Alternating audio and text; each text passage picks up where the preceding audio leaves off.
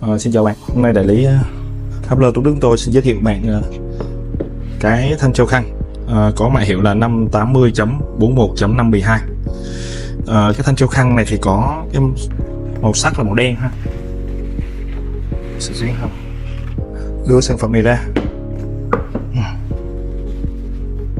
Đây một số hướng dẫn đơn giản thôi. Cái linh kiện thì nó không có nhiều cái vấn đề. Chúng ta cần phải hướng dẫn chi tiết cái này chúng ta bắt mít lên tường à, chúng ta lắp đặt được. Ừ. Ừ, đây là các bộ phận à, lên kiện chúng ta lưu ý là trong hộp nó sẽ có đi kèm là đinh ốc vít chúng ta ha. Thì cái loại đinh ốc vít này bằng inox chúng ta lắp đúng loại thì nó không bị xét rỉ còn cái thanh này á, thì nó là à, chất liệu nó là bằng à, sơn tĩnh điện ha màu đen hơi đen mờ nha bạn về phía trong mà ta chúng ta lắp đặt ở vào trong tường.